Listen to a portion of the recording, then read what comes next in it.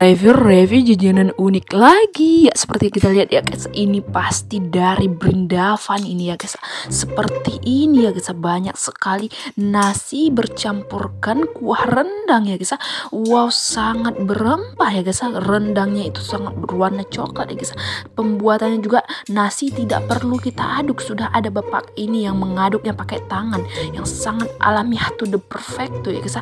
Sangat alami menggunakan tangan dan juga kentang-kentang kentang langsung digeprek-geprek ya menggunakan tangan ya guys ya. tanpa harus tangan kita menyentuh untuk mm, mengaduk-aduk ya guys ya. nah seperti ini wow sangat mantap sekali ya guys ya. India sangat berbeda dengan wilayah-wilayah lain di belahan dunia ya guys karena pembuatan dan peracikan mereka itu sangat-sangat menggunakan hati dan juga mereka juga tidak pelit topping pastinya guys wow ternyata piringnya itu berbalutkan kertas koran ya guys ya